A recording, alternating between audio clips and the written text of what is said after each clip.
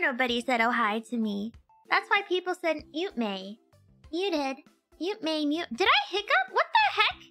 I don't think I did. I think you guys were just saying things to say things. I know Ame's streaming. Did you hear it from her? I was honestly listening to Ame's stream before starting. That might be why I was a little late.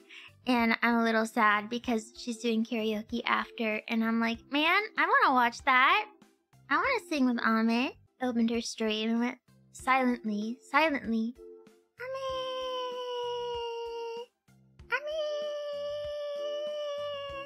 I don't think she heard me though.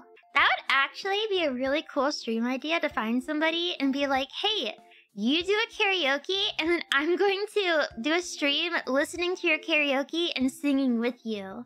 So it's a live duet, except one person isn't duetting anybody. Or you could take turns! You could take turns! Wait, that be interesting, wouldn't it? You take turns, so one person sings a song and then the other person does the duet, then you switch. Wait, that, that could be a cool idea, right?